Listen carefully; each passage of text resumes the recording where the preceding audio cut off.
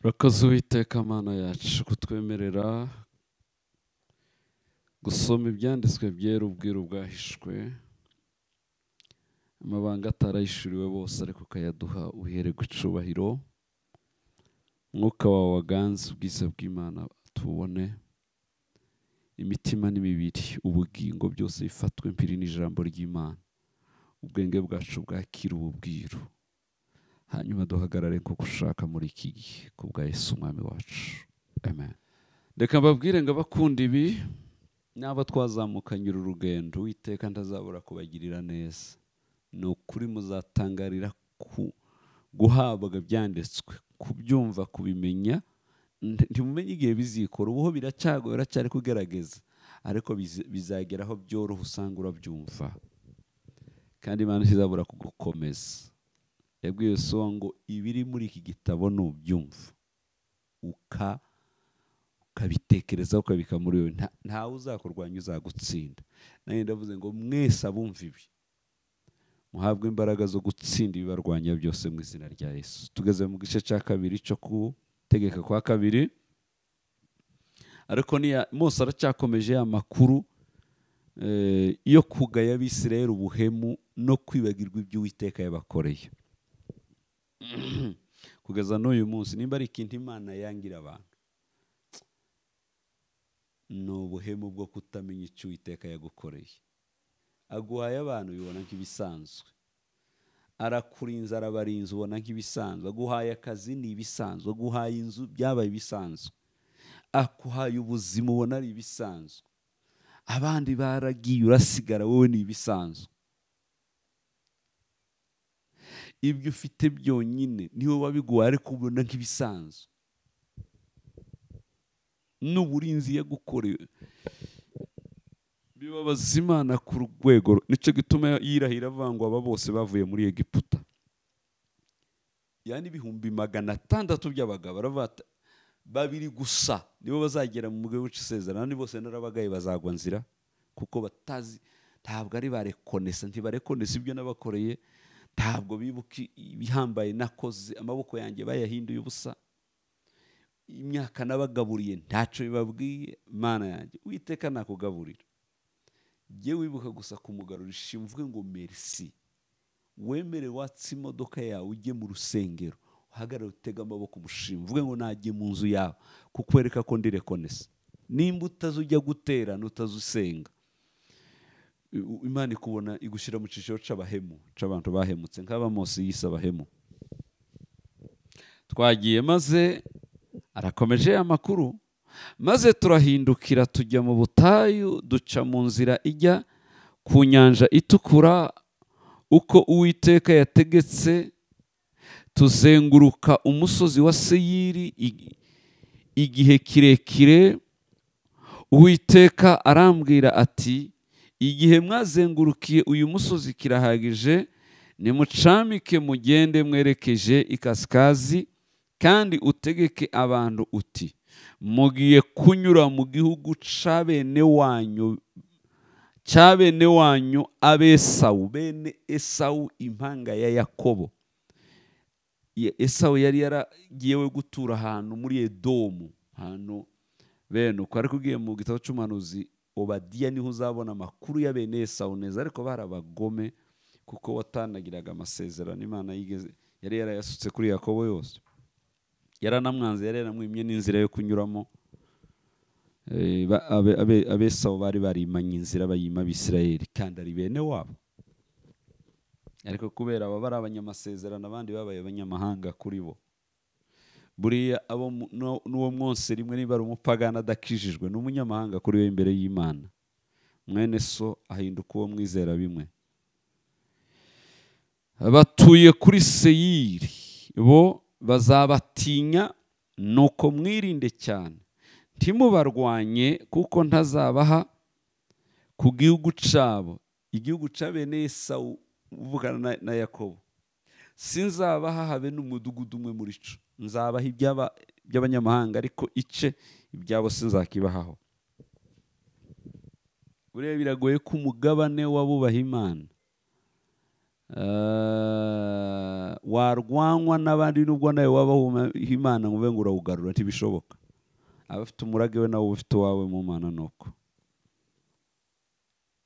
icyo gituma uzabona n'abantu barwanirira barwaniye imihamagaro y'abandi umuntu agashanga umuyobozi nka naka. Niba imana yaramutoye ikabimuha yarabitoye nawe iguha ibindi. Nyurwa n'imisozi yawe ni ho imana ikwagura. Ariko iyo utangiye kurwanira mu y'abandi uhagira ibibazo. Ntimubarwanye kuko ntazabaha ku gihugu cyabo naho yaba intambwe imwe y'ikirenge kuko nahaye esawu umusozi wa seyiriho gakondo ye. Muzabaha muzabahahe muzabahaheho ibyo kurya n'amazi. Kuko uwiteka imana yawe iguhaye umugisha imirimo yose ikuva mu maboko ikita ku ruge. Aha. Izaha imigisha imirimo y'amaboko yawe yose ikita ku rugendo rwawe rwo muri ubu butayu bunini uwiteka imana yawe ikabana nawe iyi myaka uko ari mirongo ine ntihagire icyo ubura. Ntacyo yigeze ikuburana ntacyo wayiburanye ntacyo yigeze kwima. Wowe imyaka umaze hari ibyo uwiteka yakuburanye se? Hari ibyo wamuburanye? Hari igihe bivuga ngo ngo ntarambutu ariko yaguhaye ibirenze utwavuga n'utwo tuzaza nyuma y'icyo tunyura kure ya bene wacu abesawu batuye kuri seyiri na kure y'inzira ica mwaraba iva muri eta e- erati no muri esiyonige esiyonigeberi turahindukira duca mu nzira ijya mu butayu bw'imowabu. Uwiteka arambwira ati ntugirire abamowabu urugomo ntubarwanye kuko ntazaguha ku gihugu cyabo ho gakondo kuko nahaye abaro abaro abaroti ariho gakondo ariho gakondo. Kera ah, kera ab- abemi kera abemi batura baturagayo bwari ubwoko bukomeye bw'abantu benshi barebare kuko abanaki bameze. Bariya nabo bitwa abarafa kuko abanaki bitwa ariko abamowabu babita babita abemi. Kandi kera aba- abahori baturaga kuri seyiri maze abesawu barabazungura babarimburira imbere yabo batura ahabo kuko abisirayeli bagiriye bagiriye igihugu cya gakondo yabo uwiteka yabahaye. Uwiteka ati nuko nimuhaguruke mwambuke akagezi zeredi nuko twambuka ako kagezi zeredi uhereye igihe twaviriye i kadeshi baroneya ukageza igihe twambukiye akagezi zeredi ni imyaka mirongo itatu n'umunani igeze. Igihe abarwanyi baca baca igihe bose. Bashiriye mu ngando zacu uko uwiteka yari yaraba yari yarabarahiye. Kandi amaboko y'uwiteka yarwanaga nabo ngo abarimbure mu ngando zacu ageze aho bashiriye. Imyaka mirongo ine yo gutegereza ko abinangiye n'abagomeye uwiteka bashira. Babwira kandi abantu batajya bamenya. Isi ntiyabuze iki eh, ikiyirangiza cyangwa se yesu ntiyatinze kugaruka? Ariko nyine aracyategereje kwinangira ko abinangiye ngo arebe ko bagaruka cyangwa se nyine azabareke bashire. Hari igihe ubona ko generasiyo yananiranye ikayireka reka ntegereze ipfa iveho nzarebe ko izakurikira izaba nziza. Ariko imana ishimwe ko buri generasiyo igira abayosuwa na ba karebu bazima bahagaze mu maso y'imana bazaragwa amasezerano. Maze abarwanyi bose bamaze gupfa bashize mu bantu uwiteka arambwira ati uyu munsi ugiye kunyura muri muri ari muri ari urenge urugabano rw'imowabu kandi nugera aha- ahateganye n'abamoni ntubagirire urugomo ntubarwanye kuko ntazaguha ku gihugu c'abamoni ho gakondo. Ah, ubwo nagiye nagiye ubwo nagiha kuko nagihaye abaloti ho gakondo. Icyo gihugu na cyo cyitwa icyarafa icy'abarafa kuko abarafa baturagamo kera ariko abamoni babita abaza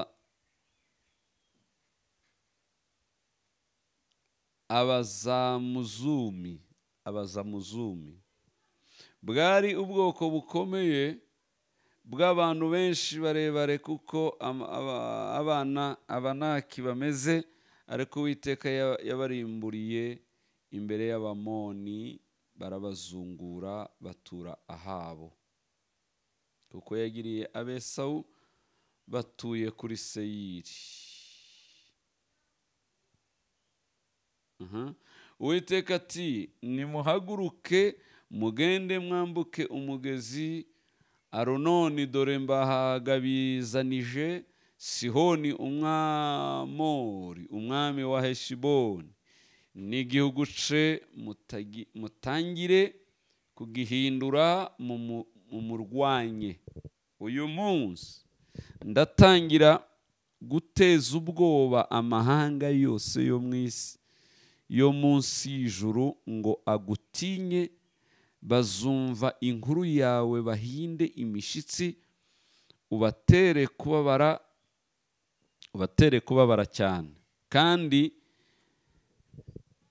kandi ndi mu butayu bw'ike- bw'ikedemoti.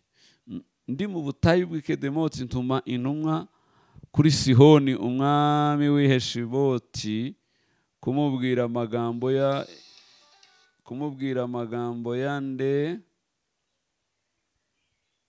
y'amaho y'amahoro ziti reka nyure mu gihugu cyawe reka aha reka anyure mu gihugu cyawe azaca mu nzira nini ye gutambikira iburyo cyangwa ibumoso uh, uzamuhahishe ibyo kurya n'amazi umwemerere gucishamo amaguru gusa.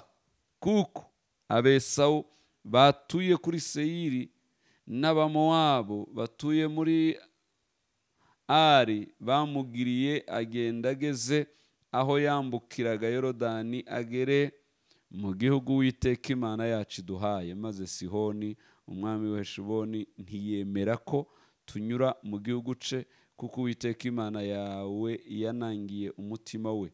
Ikawumukomereza kugira ngo imukugabize kuko biri nanone siyoni yarirangiye anga kubaha inzira uwiteka aramubagabiza baramwica. Uwiteka arababwira ati dore ntangiye kukugabiza sihoni n'igihugu ce. Nta- ntangira kugihindura tangira kugihindura ubone kukigira gakondo. Maze sihoni adusanganiza ingabo ze zose iya hasi ngo aturwanirizeyo turwanye uwiteka imana yacu iramutugabiza n'abahungu be n'abantu be bose. Keretse amatungo yonyine niyo twanyaganye n'ibyo twasahuye mu midugudu twatsinze. Uhereye kuri aroweri iri mu mutwe w'igikombe cyo kuri arunoni no ku mudugudu uri muri icyo gikombe ukageza kuri galeyadi ntihagira umudugudu utunanizwa n'uburemere bw'inkike z'amabuye zawo. Ahubwo uwiteka imana yacu iyitugabiza yose. Witeka imana kugabiza inkike zose zatumye utagera mu masezerano mu izina rya yesu. Azi kugabiza uzisenye mu- kubw'imbaraga z'imana. Icyo akora ntimwigire hafi y'igihugu c'abamoni gi- igikombe cyose cyo ku mugezi yaboki n'imidugudu yo mu misozi n'ahandi hose uwiteka imana yacu yatubujije gutera aho yababujije gutera hose. Kuri irakomeje mu gice cya gatatu maze turahindukira turazamuka duca mu nzira ijya i bashani ogi umwami w'i bashani adusanganiza ingabo ze zose muri Edure- e- e- edureyi ngo aturwanirizeyo. Uwiteka arambwira ati ntumutinye kuko mukugabizanije n'abantu be bose n'igihugu ce nawe umugire uko wagiriye sihoni umwami w'abamori. Wa wundi wari utuye i heshiboni. Nuko uwiteka imana yacu itugabiza na ogi umwami w'Abasha- w'i bashani n'abantu be bose turamurimbura tugezaho eh, tutamusigiye n'uwa kirazira icyo gihe dutsinda imidugudu ye yose ntihagira umudugudu wabo tu- tudatsinda yari imidugudu mirongo itandatu.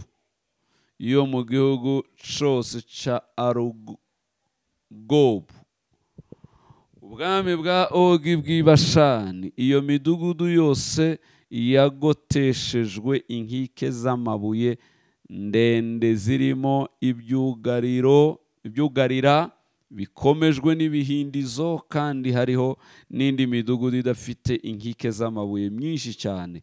Turayirimbura rwose kuko twagiriye sihoni umwami w'i heshiboni. Imidugudu yose tuyirimburiramo abagabo n'abagore n'abana bato. Imana yanjye imana ibaha imbaraga zo gutsinda imbaraga z'ubwami bw'umwijima bwose. Kugira ngo gakondo yanyu muyigiriremo amahoro. Barwanye na ba siyoni na ba oga ariko twe duhanganye n'imyuka y'ahantu ho mu kirere. Ariko witeka ko ari kumwe natwe azaduha kubitsinda. Ariko amatungo yose n'isabe byose byo muri iyo midugudu tubijyanaho iminyago. Aha.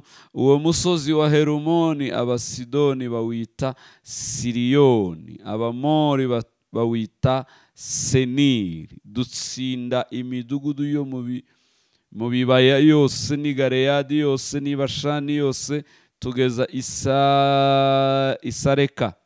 No muri eduriyeli. Imidugudu yo mu bwami bwa ogi bw'abashani kuko ogi umwami w'abashani ari we wenyine wari ukiriho mu bari basigaye b'abarafa. Igitanda ce cari ic'icuma ntikikiri iraba y'abamoni.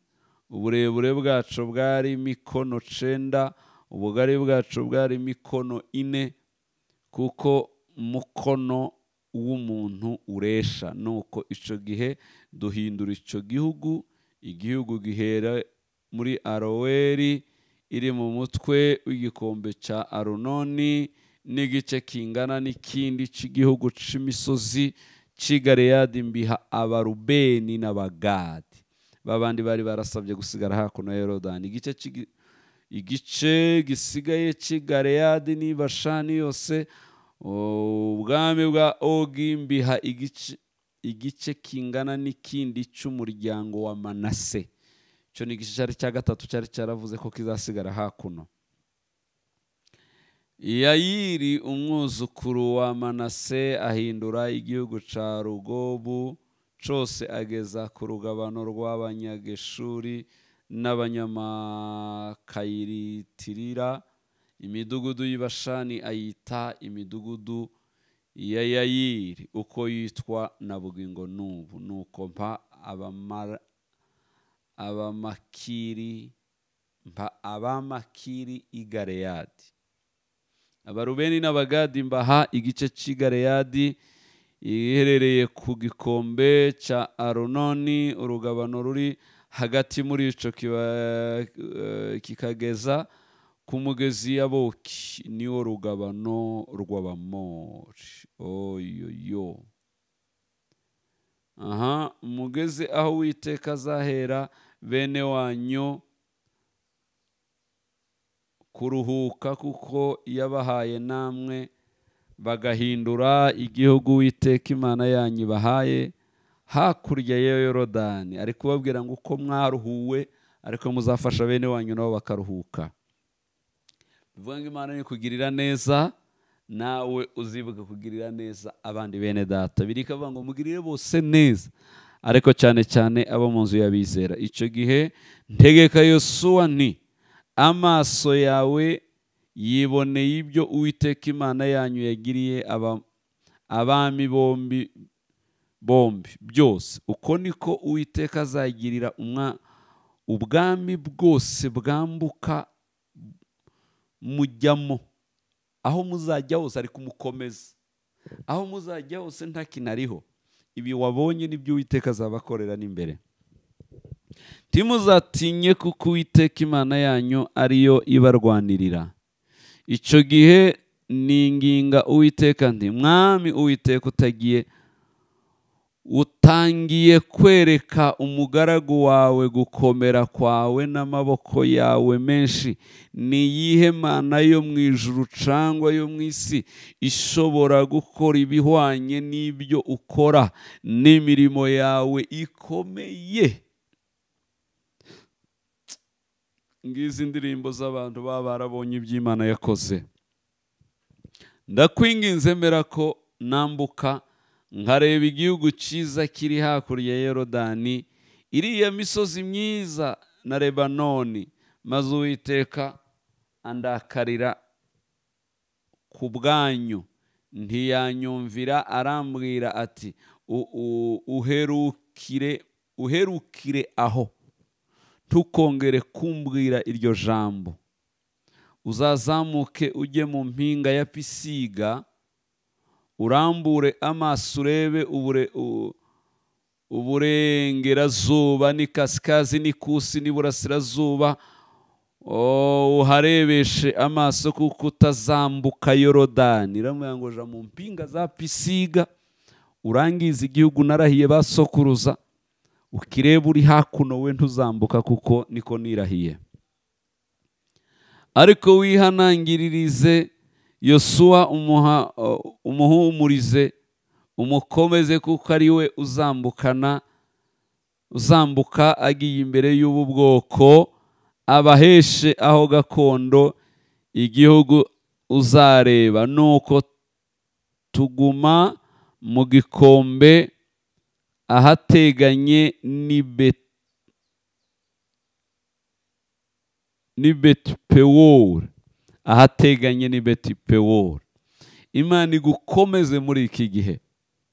Iguha imbaraga zo kurangiza gakondo yawe n'ahari amasezerano. Uharebe udahumaguza. Ntiwite ku bami bari mu nzira. Ubwami bw'ubuperesi bwitambitse. Urebe iyo ugana. Ukomere nka yosuwa. Ushika mushiramanga ibyo witeka yavuze uzabigeraho neza kuko imbaraga ze ni na zo zizakubashisha si izawe ntiwurebe wowe nturebe iwanyu nturebe imibereho nturebe amateka reba iyo aguhamagaye gusa. Ibaho umugisha kandi bakomeze. Mbivuze mu izina rya yesu umwami n'umukiza wacu. Amen amen amen.